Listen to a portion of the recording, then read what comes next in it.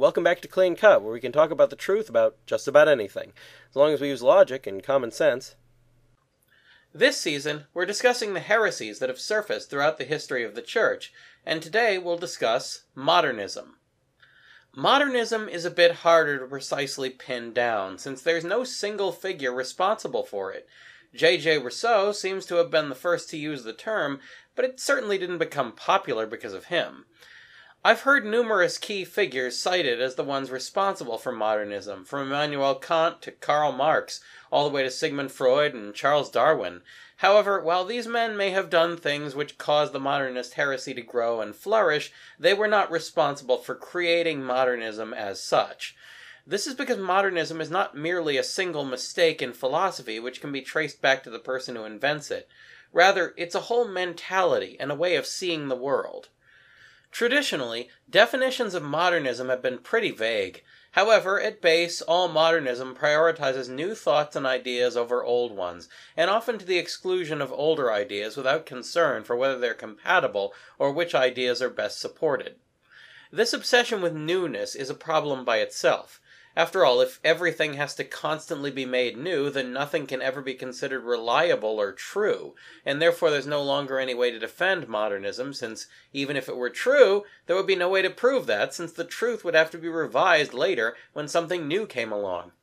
So, what were the new things that modernists were trying to promote? Freedom, in a sense, Still, as Lincoln once said, freedom for wolves means death for sheep, so what specific kinds of freedom were being promoted? Let's take a look at the different kinds and see why these would be heretical. Number 1. Freedom from the authority of the Church.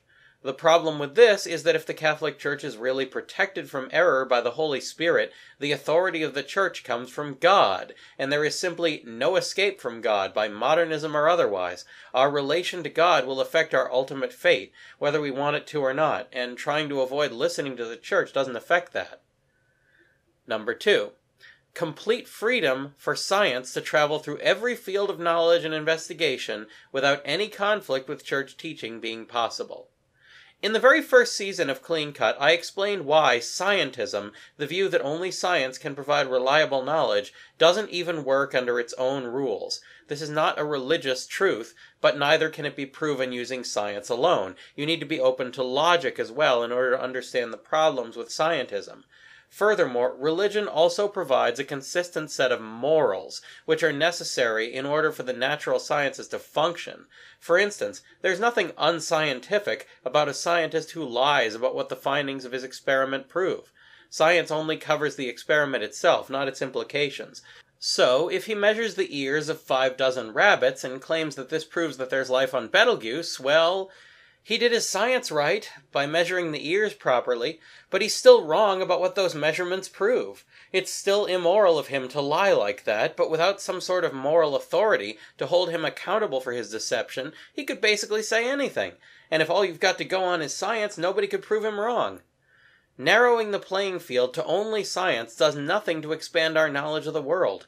What it does is increase our vulnerability to being conned by scientists who are no longer doing science. Number three, the freedom of the state to be completely unobstructed by religious authority. This one has always seemed a bit strange to me, since the state is responsible for much of the suffering that ordinary working men and women experience on a day to day basis.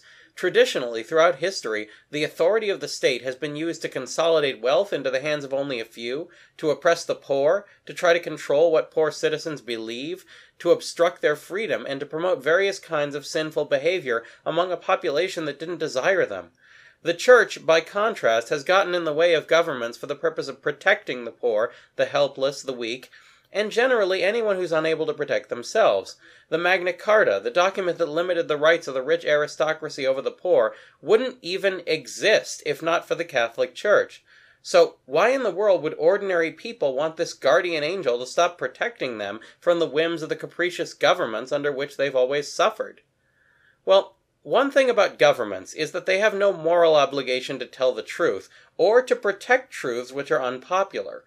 They're also not above being manipulative and dishonest when it serves their purposes. So, if a teaching of the church starts to lose favor in the public eye, leaders in government might start talking to people exclusively about that, about how horrible it is that some people still believe thing X, which is responsible for causing so much harm and inconvenience to us in our lives. If they harp on it long enough, people begin to think about it more often, even if the issue almost never affects them personally or affects them in a positive way. And the more they think about this upsetting issue, the more upset they begin to feel about it until it influences their decisions. This is especially easy now, with the news media and the internet making it so easy for the rich and powerful to get their ideas into your heads.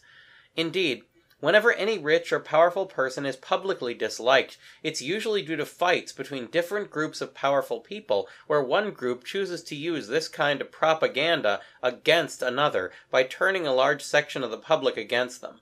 Most of all, this propaganda doesn't need to be true in order to have this effect, since most people don't check the facts they hear on the news or find floating around online.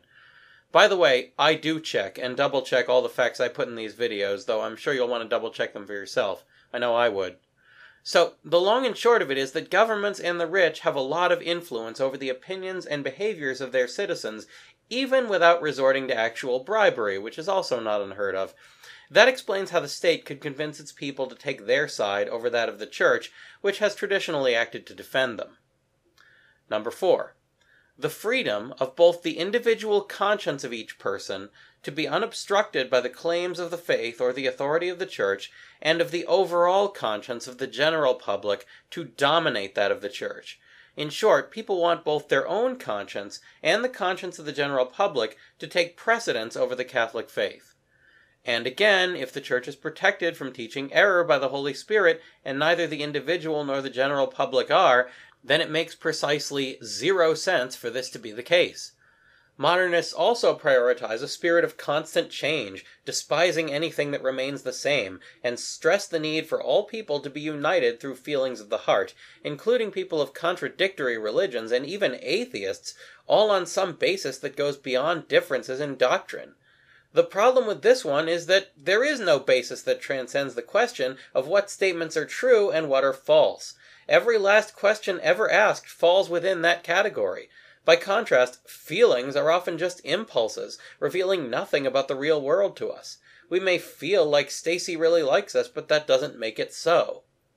Now, another key point about all of these tendencies, and the reason why modernism is not as such intellectual, is that none of them is proven. They're just sort of assumed to be true. From that basis, modernists try to rationalize, illustrate, and increase the strength of their mistaken impressions about the world. The notion that you can cling to truth while also agreeing with the spirit of the age in which you live in every single way possible.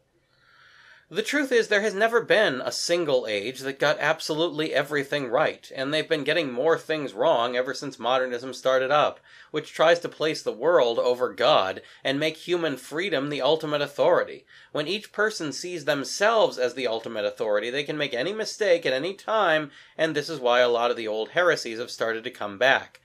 Pope St. Pius X couldn't have been more right when he called modernism the synthesis of all heresies. After all, what is a heresy but a public dissent from church doctrine, and modernism encourages dissent from all matters of faith and morals that the church teaches. It's encouraged people to make up their own ideas of morality, their own things to believe in, and given certain scientists permission to start doing amateur philosophy while telling the public falsely that it's science. For this reason, the main form that modernism takes today is an overpowering sense that matters of faith and morals are only determined by our own different perceptions and considerations. Relativism with regard to morality and religion, therefore, the flat denial of the Church's entire role in passing on truth. There couldn't be any view more contrary to the Catholic faith than this one, which is why it has always been opposed by the Church. Of course, there are so many modernist errors that to list the official condemnations of each one would probably double the length of this video. But in spite of repeated condemnations of modernist claims and even the issuing of an oath against modernism on September 1st, 1910 by Pope St. Pius X, modernists have continued to spread throughout the church, claiming to be Catholics in good standing, all while doing their absolute best to destroy the authority of the Catholic Church. That's the last of the major heresies that we'll be looking at, but next time we'll see what's happened since then and what heretical claims are being proposed now. That's all for now, so keep asking questions, and thanks for watching.